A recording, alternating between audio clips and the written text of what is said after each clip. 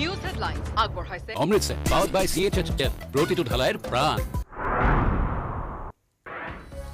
ৰাজ্যত জটিল বান পৰিস্থিতি কপিলীৰ বাঢ়নি পানীয়ে দুটাকৈ মথাউৰি ছিঙাৰ পিছতে কামপুৰত হাহাকাৰ পৰিস্থিতি ভগ্ন মথাউৰিৰে পানী সোমাই প্লাৱিত বিছখনৰো অধিক গাঁও কামপুৰৰ বকুলগুৰিতো বানে ছিঙিলে কৃষি বান বানৰ বাবে নগাঁৱত ঊনচল্লিছখন বিদ্যালয় বন্ধ ঘোষণা বানত বিধ্বস্ত মণিপুৰৰ ৰাজধানী চহৰ ইম্ফল। মণিপুৰত তিনিজনৰ মৃত্যু হোৱাৰ লগতে বানৰ কবলত সহস্ৰাধিক লোক মণিপুৰত ঘৰ দুৱাৰ বাট পথ হাস্পতাল সকলো পানীৰ তলত জলমগ্ন হাস্পতাল তথা ঘৰৰ পৰা নৱজাতকৰ লগতে শিশুসকলক টৌৰ সহায়ত উদ্ধাৰ প্ৰশাসনৰ। আৰক্ষী সেনা Assam rifles N D R F S D R এফৰ লগতে উদ্ধাৰ অভিযান অব্যাহত। বৰাকতো অধিক ভয়াৱহ হৈছে বান পৰিস্থিতি। মণিপুৰত হোৱা নেৰেনেপেৰা বৰষুণৰ ফলত জলস্তৰ বৃদ্ধি বৰাক নদীৰ নিশাটোৰ ভিতৰতে এক দশমিক তিনি মিটাৰলৈ বাঢ়িল পানী। বানত বুৰ গৈছে শিলচৰ চহৰৰ অধিকাংশ অঞ্চলৰ লগতে স্কুল কলেজ। শিলচৰৰ কালাইন পথত যান বাহন চলাচলত নিষেধাজ্ঞা। অনিয়মীয়া বিদ্যুৎ যোগান আৰু ব্যাপক হাৰত মাচুল বৃদ্ধিৰ বিৰুদ্ধে আছুৰ প্ৰতিবাদ। এ পি ডি চি এলৰ মুখ্য কাৰ্যালয় বিজুলী ভৱনত উত্তাল প্ৰতিবাদ আছু নেতা কৰ্মীৰ। এজাক ধুমুহাতে আঠচল্লিছ ঘণ্টাৰ পাছতো ৰাজ্যৰ বহু ঠাইত বিচ্ছিন্ন হৈ আছে বিদ্যুৎ সেৱা। এ পি ডি চি এলৰ ব্যৰ্থতাৰ প্ৰতিবাদ। ৰাজ্যৰ বিভিন্ন অঞ্চলত। দক্ষিণ কামৰূপত শোকাবহ ঘটনা। প্ৰসাদত বিষক্ৰিয়া হৈ ছবছৰীয়া শিশুৰ মৃত্যু। জি এম চি এইচত চিকিৎসাধীন অৱস্থাত মৃত্যু প্ৰথম শ্ৰেণীৰ ছাত্ৰী ক্ৰিষ্টিলিনা দাসৰ। বৰ্তমানে চিকিৎসাধীন অসুস্থ দহজন বুটমাহ খাই অসুস্থ হৈছিল চল্লিছৰো অধিক লোক। হাইলাকান্দি কৰিমগঞ্জত অধিক জটিল হৈছে বান পৰিস্থিতি। হাইলাকান্দিত বানত বুৰ গ'ল লক্ষ্মীনগৰ আৰক্ষী চকী। কৰিমগঞ্জত বিপদসীমাৰ ওপৰেৰে বৈছে কুছিয়াৰাৰ জলস্তৰ। বানৰ কবলত দাসপট্টি মদন মোহন ৰোড এলেকা লংগাই চিংলাইনৰ মথাউৰি ছিগি কৰিমগঞ্জত হাহাকাৰময় পৰিস্থিতি। অৱশেষত প্ৰশাসনে ভাঙিলে গুৱাহাটীৰ লাল গণেশৰ কৃষ্ণনগৰৰ গাৰ্ডৱাল জি এম ডিৰ বুলডোজাৰ লগাই ভাঙিলে ৰোহিত চৌধুৰীৰ গাৰ্ডৱাল নীতি নিয়ম নমনাকৈ নিৰ্মাণ কৰিছিল গাৰ্ডৱালখন। বুধবাৰে গাৰ্ডৱাল খহি মৃত্যু হৈছিল দুবছৰীয়া এটি শিশুৰ। আজি অন্ত পৰিব অন্তিম পৰ্যায়ৰ নিৰ্বাচনী প্ৰচাৰ অভিযানত তুংগত শাসক বিৰোধী নিৰ্বাচনী প্ৰচাৰ এক জুনত দেশৰ আঠ ৰাজ্য আৰু কেন্দ্ৰীয় শাসিত অঞ্চলৰ সাতাৱন্ন সমষ্টিত ভোটগ্ৰহণ অন্তিম পৰ্যায়ত নিৰ্বাচনত ভাগ্য নিৰ্ণয় হ'ব প্ৰধানমন্ত্ৰী মোদীৰ ই ভি এমত বন্দী হ'ব নশ চাৰিগৰাকী প্ৰাৰ্থীৰ ৰাজনৈতিক ভাগ্য।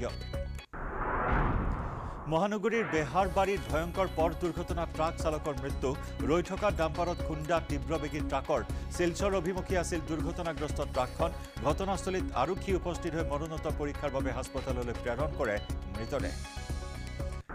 ডিব্ৰুগড়ৰ চানমাৰী ঘাটত ব্ৰহ্মপুত্ৰৰ ভয়ংকৰ খহনীয়া বৰলুইতৰ খহনীয়াৰ আতংকত বাসগৃহ এৰি নিৰাপদ স্থানত অৱস্থান নৈপৰীয়া লোকৰ ডিব্ৰুগড় নগৰ সুৰক্ষা বান্ধলৈ অশনি সংকেত কঢ়িয়াইছে খহনীয়াই জলসম্পদ বিভাগক অৱগত কৰাৰ পিছতো কোনো গুৰুত্ব নিদিয়াৰ অভিযোগ। Amritsar powered by C H H F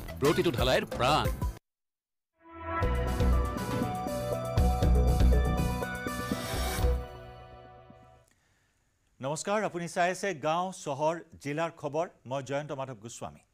মহানগৰীত ভূমিস্খলনত কণমানিৰ মৃত্যুৰ পিছতহে গা লুৰিল জি এম ডি এ তথা প্ৰশাসনৰ। লাল গণেশৰ কৃষ্ণনগৰত প্ৰশাসনে ভাঙি পেলালে ৰোহিত চৌধুৰীৰ গাৰ্ডৱাল। ৰোহিত চৌধুৰীয়ে অবৈধভাৱে নিৰ্মাণ কৰিছিল গাৰ্ডৱালখন। বুধবাৰে লাল গণেশৰ কৃষ্ণনগৰত গাৰ্ডৱাল খহি মৃত্যু হৈছিল। এটি কণমানিৰ। দিলীপ দাস নামৰ লোকজনৰ ঘৰত গাৰ্ডৱাল খহি পৰাত শুই থকা অৱস্থাতে কৰুণ মৃত্যু হৈছিল। জাহ্নৱী দাস নামৰ দুবছৰীয়া শিশুটিৰ। কোনো ধৰণৰ নীতি নিয়ম নমনাকৈ অট্টালিকা সাজি গাৰ্ডৱাল নিৰ্মাণ কৰিছিল ৰোহিত চৌধুৰী নামৰ লোকজনে।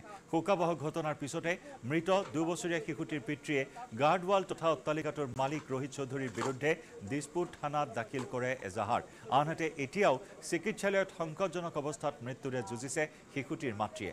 স্থানীয় ৰাইজৰ অভিযোগ অনুসৰি ৰোহিত চৌধুৰী নামৰ লোকজনে বিধি উলংঘা কৰি গাৰ্ডৱাল অট্টালিকা নিৰ্মাণ কৰাৰ বাবেই সংঘটিত হয় ভয়ংকৰ ঘটনা।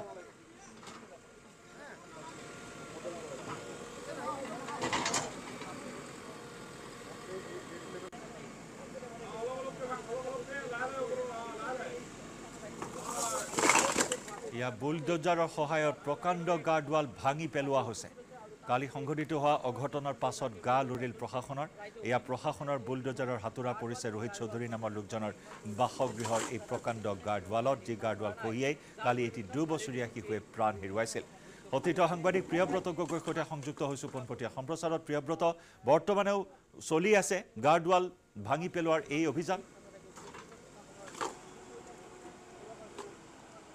হয় জয়ন্ত যোৱাকালিৰ দিনটোত যি ঘটনা সংঘটিত হৈছিল এক মৰ্মান্তিক ঘটনা সংঘটিত হৈছিল দিলীপ দাস নামৰ এজন ব্যক্তিৰ আচলতে পুত্ৰী জাহ্নৱী দাসৰ কৰুণ মৃত্যু সাৱটি লৈছিল। আমি দেখাবলৈ দেখুৱাবলৈ চেষ্টা কৰিম। আচলতে কেনেদৰে কেনেধৰণে তেওঁলোকৰ ঘৰটো এখন পকী দেৱালে প্ৰকাণ্ড এখন পকী দেৱালে হেঁচা মাৰি ধৰিছিল আৰু যাৰ ফলস্বৰূপে থিতাতে প্ৰাণ গৈছিল সেই কণমানিজনী এগৰাকী মাতৃৰ বুকু সোধা হ'ল। এইখন আমি এতিয়াও ঘৰখন দেখুৱাবলৈ চেষ্টা কৰিম যে কেনেধৰণে আচলতে এইখন পকী দেৱালে হেঁচা মাৰি ধৰিছিল।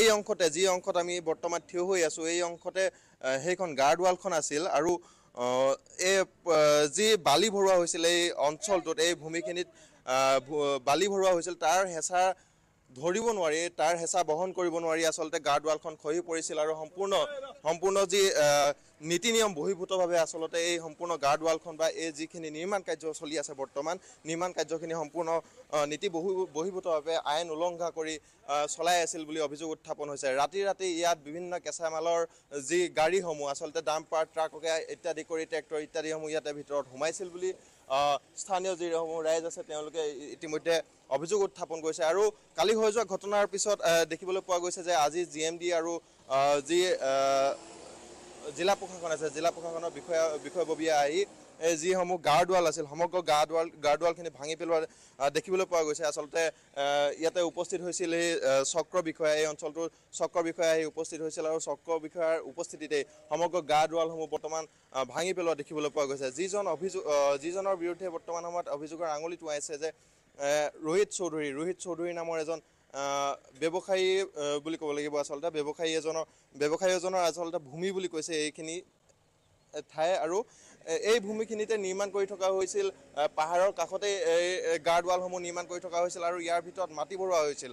সাধাৰণতে দেখিবলৈ পোৱা যায় যে পাহাৰৰ কাষত এনেধৰণৰ গাৰ্ড ৱাল নিৰ্মাণ কৰিলে বা মাটি ভৰোৱা কোনো কাম থাকিলে সাধাৰণতে যিসমূহ বল্ডাৰ থাকে আচলতে বল্ডাৰৰ ৱাল নিৰ্মাণ কৰা দেখাবলৈ দেখিবলৈ পোৱা যায়। কিন্তু বৰ্তমান সময়ত ইয়াত আমি যদি চাওঁ তেন্তে সাধাৰণ যিসমূহ ইটা আৰু সাধাৰণ যিসমূহ সৰু সৰু এইট এম এম বুলি কোৱা হয় হয়তো এইসমূহ ৰদেৰে আচলতে নিৰ্মাণ কাৰ্য চলাই থকা হৈছিল যাৰ ফলত মাটি ভৰোৱাৰ পাছতে বহন কৰিব নোৱাৰি মাটিৰ বোজা বহন কৰি- কৰিব নোৱাৰি ৱালসমূহ ভাগি পৰিছিল আৰু কণমানিজনীৰ শুই থকা অৱস্থাত বিচনাত শুই আছিল বুলি জানিব পৰা গৈছে কণমানি আঢ়ৈ বছৰীয়া কণমানিজনী আৰু তাতেই আচলতে হেঁচা মাৰি ধৰিছিল বুলি জানিব পৰা গৈছে আৰু তেওঁৰ মাতৃ আছিল যি মৃদুস্মিতা দাস মৃদু হয় মৃদুস্মিতা, জীৱন মৃত্যুৰে যুঁজি আছে চিকিৎসাধীন হৈ।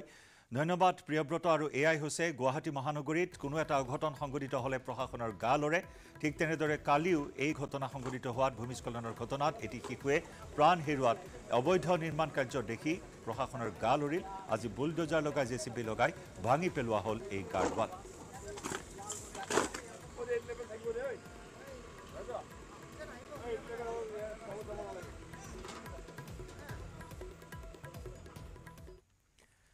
দক্ষিণ কামৰূপত বুধ মাহত বিষক্ৰিয়া হৈ কণমানি ছাত্ৰীৰ মৃত্যু। জি এম চি এইচত চিকিৎসাধীন অৱস্থাত মৃত্যু হয় ছয় বছৰীয়া ক্ৰিষ্টিলিনা দাসৰ। মিৰ্জাৰ কামৰূপ জাতীয় বিদ্যালয়ৰ প্ৰথম শ্ৰেণীৰ ছাত্ৰী আছিল ক্ৰিষ্টিলিনা। বুধ মাহত বিষক্ৰিয়া হৈ অসুস্থ হৈছিল অৰ্ধ শতাধিক লোক। অৰ্ধ শতাধিক অসুস্থ লোক বৰ্তমানে চিকিৎসাধীন। দক্ষিণ কামৰূপৰ শানপাৰাত বুধ মাহত বিষক্ৰিয়াৰ ঘটনা সংঘটিত হয়। গাঁওখনত উপস্থিত হয় জিলা পৰ্যায়ৰ চিকিৎসকৰ দল। অসুস্থ একাংশ লোকক গাঁৱতে প্ৰাথমিক চিকিৎসা প্ৰদান।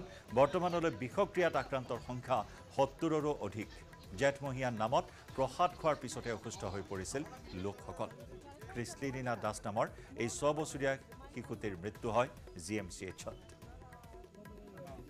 প্ৰসাদ আৰু ভোগ খাইছিল। আৰু বেলেগ একো খোৱা নাই। তেতিয়া প্ৰথমতে ভালে এতিয়া স্কুলকো পঠালোঁ মিৰ্জাত এডমিশ্যন তাৰপিছতে তাতে স্কুলতো বমি কৰিছে। তে বমি কৰোঁতে লৈ আহিলা। আহোঁতে তেওঁ চিকিৎসা কৰিলোঁ ডক্টৰক দেখালোঁ আমাৰ চাব চেণ্টাৰৰ ডক্টৰক দেখাওঁতে তেখেতে মানে ঔষধ পাতি দিলা যদিও কাম নহ'ল। তাৰপৰা গাড়ী আনি পেলাই পঠাই লৈ গ'ল। ল'ৰাটো দেউতি দেউতাকে লৈ গ'ল। আজাৰ আজাৰত মানে ট্ৰিটমেণ্ট একো নহ'ল। ভৰ্তি কৰিছে কিন্তু ট্ৰিটমেণ্ট একো নহ'ল। ট্ৰিটমেণ্ট কৰিলে কিছু না ঘূৰি আহিলা হয় কিন্তু ট্ৰিটমেণ্ট একো নহ'ল ৰিলিজ দিলা মেডিকেল বুলি। G M C G M C লৈ গ'ল। ঢুকাইছে মানে এতিয়া ঢুকা বুলি এটা ৰিজাল্ট পালোঁ। অনিয়মীয়া বিদ্যুৎ যোগান আৰু ব্যাপক হাৰত মাচুল বৃদ্ধিৰ বিৰুদ্ধে আছুৰ প্ৰতিবাদ এ পি ডি চি এলৰ ব্যৰ্থতাৰ বিৰুদ্ধে মুখ্য কাৰ্যালয় বিজুলী ভৱনকে ধৰি ৰাজ্যৰ বিভিন্ন প্ৰান্তত আছুৱে সাব্যস্ত কৰে প্ৰতিবাদ। বছৰত দুবাৰকৈ বিদ্যুতৰ মাচুল বৃদ্ধি কৰি গ্ৰাহকৰ মূৰত মাধমাৰ কঢ়োৱা এ পি ডি চি এলে দুদিন ধৰি মেৰামতি কৰিব পৰা নাই ব্যাহত হোৱা বিদ্যুৎ সেৱা। উল্লেখযোগ্য যে এজাক ধুমুহাতে গুৱাহাটী মহানগৰীকে ধৰি সমগ্ৰ ৰাজ্যতে বিদ্যুৎ সেৱা ব্যাহত হৈছে। কিন্তু দুই তিনিদিন উকলি যোৱাৰ পাছতো বহু অঞ্চলত এতিয়াও বিদ্যুৎ সংযোগ নোহোৱাৰ প্ৰতিবাদত আছুৱে জবাবদিহি কৰিছে A P D C L কৰ্তৃপক্ষক। পুৱাৰে পৰা বিজুলী ভৱনৰ সন্মুখত দেখিবলৈ পোৱা হ'ল আছুৰ প্ৰতিবাদী কাৰ্যসূচী। সতীৰ্থ সাংবাদিক হীৰকজ্যোতি মালাকৰৰ প্ৰতিবেদন আগবঢ়াইছোঁ। হয় বিদ্যুৎ মিছন হ্ৰাস আৰু যিহেতু নিয়মীয়া বিদ্যুৎ যোগান ধৰাৰ দাবীৰে ইতিমধ্যে যিহেতু সদৌ অসম ছাত্ৰ সন্থাই প্ৰতিবাদী কাৰ্যসূচী গ্ৰহণ কৰিছে আৰু এই মুহূৰ্তত মই বিজুলী ভৱনত উপস্থিত আছোঁ। পল্টন বজাৰ স্থানত বিজুলী ভৱনত এনেদৰে সদৌ গুৱাহাটীৰ যি ছাত্ৰ সন্থা আছে সদৌ গুৱাহাটী ছাত্ৰ সন্থাই প্ৰতিবাদী কাৰ্যসূচী গ্ৰহণ কৰিছে। আৰু তেওঁলোকে মূল্যবৃদ্ধিৰ লগতে আহ, যি বিদ্যুতৰ মাচুল দৈনিক বিদ্যুতৰ মাচুল যি বৃদ্ধি হৈ আছে তাৰে বাবে প্ৰতিবাদী কাৰ্যসূচী গ্ৰহণ কৰিবলৈ গ্ৰহণ কৰা দেখিবলৈ পোৱা গৈছে। আৰু তেওঁলোকে এটা যে যি সেই বৰ্ধিত বিদ্যুৎ মাচুল হ্ৰাস কৰিব লাগে হ্ৰাস কৰি ৰাইজে সকাহ দিব লাগে এনেধৰণে তেওঁলোকে বিভিন্ন শ্লোগান দিছে আৰু এই মুহূৰ্তত দেখিছে মই বিজুলী ভৱনত উপস্থিত হৈছোঁ বিজুলী ভৱনৰ সদৌ গুৱাহাটী ছাত্ৰ সন্থাই এই প্ৰতিবাদী কাৰ্যসূচী গ্ৰহণ কৰা দেখিবলৈ পোৱা গৈছে। আৰু যিসকলে সদস্য আছে আছুৰ সদস্য বা যিসকল আছে তেওঁলোকৰ পৰা আমি মন্তব্য চেষ্টা কৰিম। দৈনিক বিদ্যুৎ মাচুল বৃদ্ধি হৈ আছে তাৰে তাৰে বিৰোধিতাৰে আপোনালোকে আজি এই এই আৰোপ কৰিছে। মূল কথাটো হ'ল গুৱাহাটীত এতিয়া কাৰেণ্ট আহে কাৰেণ্ট নাযায়। কেতিয়াবা কেতিয়াবা কাৰেণ্ট গুৱাহাটীত আহে মূল কথাটো হ'ল কি অসম চৰকাৰে এই বিজুলীৰ ক্ষেত্ৰত বিজুলী কোনো ব্যৱস্থা গ্ৰহণ কৰা নাই। শক্তি মন্ত্ৰী ফেইলৰ হৈছে। তেওঁ অতি সোনকালে পদত্যাগ কৰিব লাগে। মূল কথাটো হ'ল কি অসমৰ ৰাইজে গুৱাহাটী ৰাইজে বিদ্যুৎ নিয়মীয়াকৈ পোৱা নাই। গতিকে এঘণ্টা থাকে তিনি ঘণ্টা নাথাকে। গতিকে আমি অসম চৰকাৰক দাবী জনাইছোঁ যে অতি সোনকালে অতি সোনকালে বিদ্যুতৰ যোগান নিয়মীয়াকৰণ কৰিব লাগে। তাৰ লগে লগে অসমত যিবিলাক বস্তুৰ মূল্য বৃদ্ধি হৈছে এই মূল্য বৃদ্ধি নিয়ন্ত্ৰণ কৰিব লাগে। আৰু মূল্য বৃদ্ধি নিয়ন্ত্ৰণ নকৰা পৰ্যন্ত আমাৰ ধাৰাবাহিক কাৰ্যসূচী চলি থাকিব। সদৌ অসম ছাত্ৰ সন্থাৰ আহ্বানত আজি সমগ্ৰ অসমতে এই কাৰ্যসূচী ৰূপায়ণ কৰা হৈছে। আমি এটা কথা স্পষ্ট কৰিব বিচাৰিছোঁ যে যেতিয়ালৈকে দাম নকমিব তেতিয়ালৈকে আমাৰ ধাৰাবাহিক কাৰ্যসূচী ধন্যবাদ জ্ঞাপন কৰিছোঁ। আৰু ৰেমালৰ প্ৰভাৱ দেখিবলৈ পোৱা গৈছিল গুৱাহাটীতো ৰেমালৰ প্ৰভাৱ দেখিবলৈ পোৱা গৈছিলে ঘূৰ্ণী বতাহ। তাৰপিছত কিন্তু ৰাইজে এতিয়াও বিদ্যুৎ পোৱা নাই কিছু কিছু অঞ্চলত। আৰু বিদ্যুতৰ মাচুল যিহেতু বৃদ্ধি হৈ আছে। চাওক। আজিৰ এই প্ৰতিবাদী কাৰ্যসূচী আছিল সদৌ অসম ছাত্ৰ সন্থাৰ আহ্বানৰ সদৌ গুৱাহাটী ছাত্ৰ সন্থাই ৰাইজক সকাহ দিয়াৰ বাবে এক প্ৰতিবাদী কাৰ্যসূচী গ্ৰহণ কৰিছে গতিকে এনে এটা প্ৰতিবাদী কাৰ্যসূচী যেতিয়া পুলিচ প্ৰশাসনে আমাক বাধা প্ৰদান কৰিছে সেয়া কিন্তু কোনো গণতন্ত্ৰৰ পৰিপন্থী এটা সিদ্ধান্ত।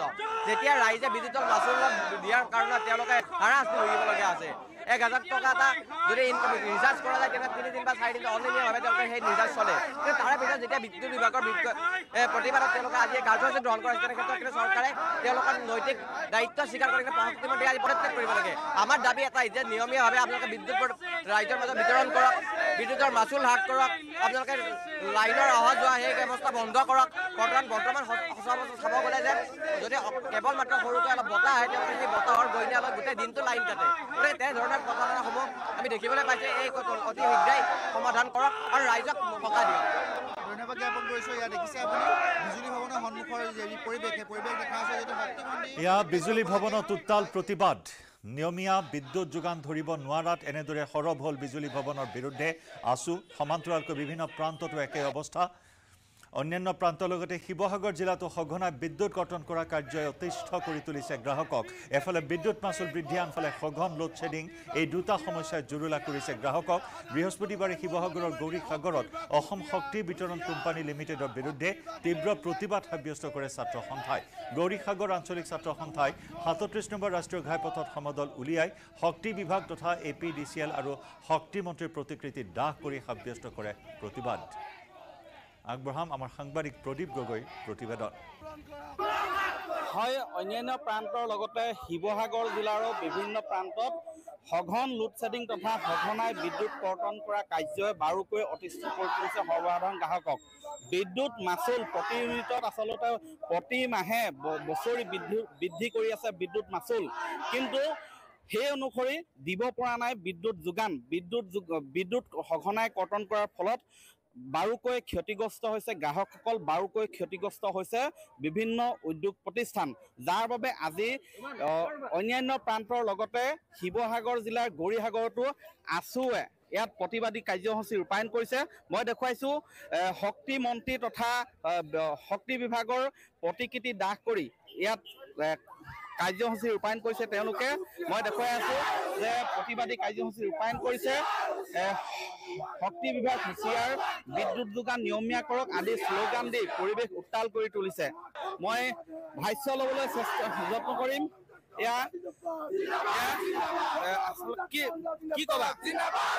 হয় নিশ্চিতভাৱে যি আমাৰ সাধাৰণ জনতাৰ মত যি বিদ্যুৎ বিভাগ আচলতে শক্তি বিভাগে যি মাধমাৰ দিছে আচলতে সাধাৰণ জনতাক যি বিদ্যুতৰ মাচুল বৃদ্ধি কৰি যি সাধাৰণ মানুহক আচলতে যি মাধমাৰ মূৰত মাধমাৰ দি এই সাধাৰণ জনতাৰ কোনো মূল বুজি পোৱা নাই যি চৰকাৰখনে যি এক আচলতে মুখ্যমন্ত্ৰী হাতৰ পুতলা স্বৰূপ যি নন্দিতা গালোচা সেই সেই যিগৰাকী মন্ত্ৰী অতি শীঘ্ৰে আচলতে তেওঁ পদত্যাগ কৰিব লাগে কোনো ধৰণৰ ৰাইজৰ ওপৰত সপক্ষে কথা ক'ব পৰা নাই। কিন্তু আচলতে আমি দুখিত যে আমগুৰি সমষ্টিত আচলতে যিজন আমাৰ বিধায়ক প্ৰতিভা হাজৰিকা তেওঁ কোটি টকা খৰচ কৰি যি পাৱাৰ প্ৰজেক্টৰ ব্যৱস্থা কৰিছিলে কিন্তু এই পাৱাৰ প্ৰজেক্ট ব্যৱস্থা থকাৰ পাছতো আমগুৰি লিখীয়া এটা সমষ্টিত কি কাৰণে বিদ্যুতৰ মাচুল অৰ্থাৎ অনিয়মীয়াভাৱে বিদ্যুৎ যোগান বন্ধ হৈ আছে সেইটোৰ প্ৰতি আমি শংকা প্ৰকাশ কৰিছো। সেয়ে আজি সদৌ অসম ছাত্ৰ সন্থাৰ আহ্বান মৰ্মে আমি গৰিয়া গ্ৰহণ ছাত্ৰ সন্থাই এই শক্তি বিভাগৰ ওপৰত আজি তীব্ৰতাৰে প্ৰতিবাদী কাৰ্যসূচী হাতত লৈছো আৰু অতি শীঘ্ৰে যদি আমাৰ সাধাৰণ জনতাৰ কথা চিন্তা নকৰি এই শক্তি বিভাগে এনেধৰণে বিদ্যুতৰ মাচুল বৃদ্ধি কৰি থাকে তেনেহ'লে আমি অনাগত দিনত ইয়াতকৈ ভয়ংকৰভাৱে গণতান্ত্ৰিক প্ৰতিবাদ কাৰ্যসূচী হাতত ল'বলৈ ইফালে বিদ্যুৎ যোগান অনিয়মীয়া আৰু বিদ্যুৎ মাচুল বৃদ্ধিৰ প্ৰতিবাদত ওদালগুৰিৰ কলাই গাঁৱতো ছাত্ৰ সন্থাৰ প্ৰতিবাদ শক্তিমন্ত্ৰী নন্দিতা গালোচাৰ প্ৰতিমূৰ্তি দাহ প্ৰায় দুই শতাধিক ছাত্ৰ ছাত্ৰীয়ে মঙলদৈ ভুটীয়াচাং পথত শক্তি বিভাগৰ কাৰ্যালয়ৰ সন্মুখত প্ৰতিবাদ সাব্যস্ত কৰে। বিদ্যুৎ মাচুল হ্ৰাস কৰক বিদ্যুৎ যোগান নিয়মীয়া কৰক অসম চৰকাৰ হাই হাই আদি শ্লোগানেৰে প্ৰতিবাদস্থলী উত্তাল কৰি তোলে। অতি শীঘ্ৰেই বিদ্যুৎ মাচুল হ্ৰাস কৰাৰ লগতে বিদ্যুৎ সেৱা নিয়মীয়াকৰণ কৰিবলৈও দাবী জনায়। যি অসম চৰকাৰৰ এই বিদ্যুতৰ ক্ষেত্ৰত আমি বৃহত্তৰ ৰাইজে আজি যিহেতু ভুগিব লগা হৈছে। যি বিদ্যুতৰ মাচুল বৃদ্ধি কিন্তু কাৰেণ্ট নাথাকে। ঠিক তেনেদৰে সমগ্ৰ অসমৰ লগতে ওদালগুৰি জিলাৰ আমাৰ কলাইগাঁতো সদৌ অসম ছাত্ৰ সন্থাৰ নেতৃত্বত আজিৰে আমি বিদ্যুৎ বিভাগৰ শক্তিমন্ত্ৰী আৰু অসম চৰকাৰক সকীয়াই দিব বিচাৰিছোঁ যে ৰাইজৰ হাৰাশাস্তি দূৰ কৰক। তেওঁলোকে মাচুল মাহে মাহে বৃদ্ধি কৰি আছে। কিন্তু তেওঁলোকে সময়মতে বিদ্যুৎ যোগান ধৰিব পৰা নাই। এই ক্ষেত্ৰত আমি ওদালগুৰি জিলা ছাত্ৰ সন্থাৰ প্ৰত্যেকখন আঞ্চলিক ছাত্ৰ সন্থাই এই প্ৰতিবাদী কাৰ্যসূচীৰ জৰিয়তে অসম চৰকাৰক সকীয়াই দিছোঁ কম সময়ৰ ভিতৰত অসমৰ জনগণ জনসাধাৰণৰ যাতে এই বিদ্যুতৰ ক্ষেত্ৰত কোনো ধৰণৰ হাৰাশাস্তি হ'ব নালাগে তাৰ কাৰণে তেওঁলোকক সকীয়াই দিছোঁ। এইটো মাইথান ষ্টীল নহয়। অঁ ওচৰ চুবুৰীয়াসকলে লগাইছে।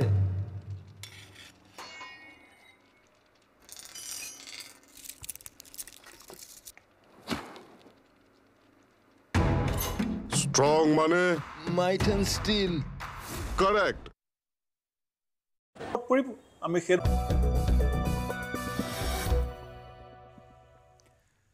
অসম আৰক্ষীৰ বীৰাংগনা কামাণ্ডো জোৱানক নিলম্বন।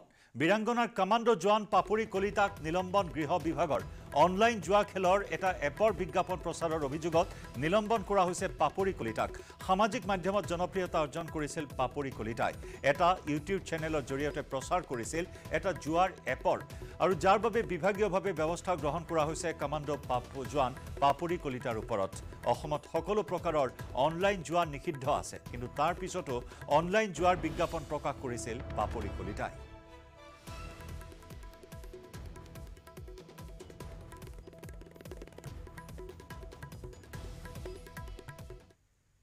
বোকাখাটত আয়কৰ বিভাগৰ অভিযান। গড়কাপ্তানী বিভাগৰ হাই প্ৰফাইল ঠিকাদাৰ মহাবীৰ প্ৰসাদ আগৰৱালাৰ বাসগৃহত চলিছে অভিযান। আয়কৰ বিভাগে হঠাৎ ঠিকাদাৰজনৰ বাসগৃহত অভিযান চলায়। এই অভিযানৰ কাৰণ কি সেই বিষয়ে বৰ্তমানেও জানিব পৰা হোৱা নাই।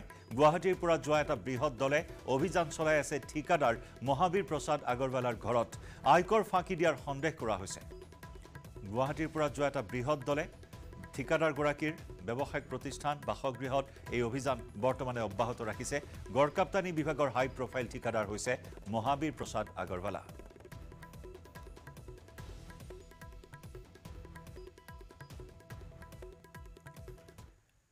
ইফালে যোৰহাট নগৰৰ পোদ্দাৰ বিল্ডিঙতো আয়কৰ বিভাগৰ তালাচী অভিযান। গোপাল পোদ্দাৰ নামৰ ব্যৱসায়ীজনৰ বা ব্যৱসায়িক প্ৰতিষ্ঠান আৰু বাসগৃহত অভিযান পুৱাৰে পৰা আয়কৰ বিভাগে চলাই আছে অভিযান গুৱাহাটীৰ পৰা যোৱা এটা বৃহৎ দলে চলাইছে এই অভিযান।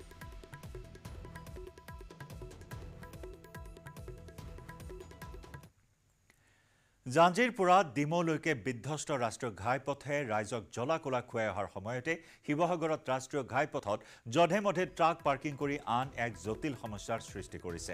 শিৱসাগৰৰ বীৰ লাচিত বৰফুকন কলেজৰ সমীপৰ পৰা দৰিকা পাৰলৈকে চাৰিলেনযুক্ত পথৰ মাজত বৃহৎ কাৰ ট্ৰাক ট্ৰেইলাৰ আদি পাৰ্কিং কৰি যাত্ৰীলৈ বিপদ কঢ়িয়াই আনিছে। কোনো ধৰণৰ সাংকেতিক চিহ্ন বা ছিগনেল নিদিয়াকৈ ৰাষ্ট্ৰীয় ঘাইপথৰ মাজতে নিতৌ শতাধিক ট্ৰাক পাৰ্কিং কৰাত সমস্যাৰ সন্মুখীন হৈছে স্থানীয় ৰাইজ। উল্লেখযোগ্য যে ৰাষ্ট্ৰীয় ঘাইপথত ছিগনেল তথা সাংকেতিক চিহ্ন নিদিয়াকৈ ৰখাই থোৱা ট্ৰাক ট্ৰেকাৰ ট্ৰেইলাৰ আদিৰ খুন্দা খাই যাত্ৰীবাহী বাহন বিভিন্ন সময়ত দুৰ্ঘটনাত পতিত হৈ আহিছে। ইয়াৰ পিছতো শিৱসাগৰত কাৰ কৃপাত ৰাষ্ট্ৰীয় ঘাইপথত যধে মধে ট্ৰাক পাৰ্কিং কৰিবলৈ চালকসকলে সাহস কৰা বুলি সাহস কৰিছে বুলি প্ৰশ্ন উত্থাপন কৰিছে ৰাইজে। এই ক্ষেত্ৰত শীঘ্ৰেই প্ৰশাসন জিলা পৰিবহণ বিভাগক উচিত পদক্ষেপ লোৱাৰ দাবী ৰাইজৰ। আগবঢ়াম। শিৱসাগৰৰ পৰা আমাৰ সাংবাদিক প্ৰদীপ গগৈৰ ৰিপৰ্ট। মই দেখুৱাইছোঁ সাতত্ৰিছ নং ৰাষ্ট্ৰীয় ঘাইপথত প্ৰকাণ্ড প্ৰকাণ্ড গাঁত যিবিলাকে আচলতে মৰণ ফান্দলৈ পৰিণত হৈছে। এই গাঁতবিলাকে এই বিধ্বস্ত পথটোৱে বিধ্বস্ত হৈ থকা পথটোৱে জ্বলা কলা খুৱাই অহাৰ সময়তে যি অকণ ভাল ঠাই আছে তাতো আচলতে ট্ৰাকবিলাক ইয়াত যধে মধে দিনে নিশাই পাৰ্কিং কৰি থয় যাৰ বাবে ইয়াত স্থানীয় যিসকল ৰাইজ আছে স্থানীয় বাসিন্দা আছে তেওঁলোক সমস্যাত পৰি আহিছে। এই মাজত এই ধৰণে ট্ৰাকবিলাক ৰখাই থোৱা হয় দিনে নিশাই। ইয়াত আচলতে এক কিলোমিটাৰ জুৰি এনেধৰণে ৰখাই থোৱা হয়। যাৰ বাবে ইয়াৰ যিবিলাক স্থানীয় বাসিন্দা আছে তেওঁলোকে পদূলিৰ পৰা তেওঁলোকে ঘৰৰ পৰা পদূলিয়েদি সাতত্ৰিছ নং ৰাষ্ট্ৰীয় ঘাইপথতো উঠিব নোৱাৰে। এইটো মাইথান ষ্টীল নহয়। অঁ ওচৰ চুবুৰীয়াসকলে লগাইছে।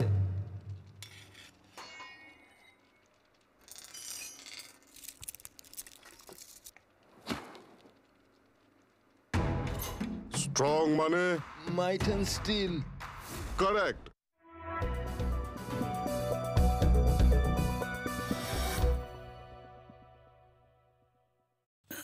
অন্যতম এটা আহ,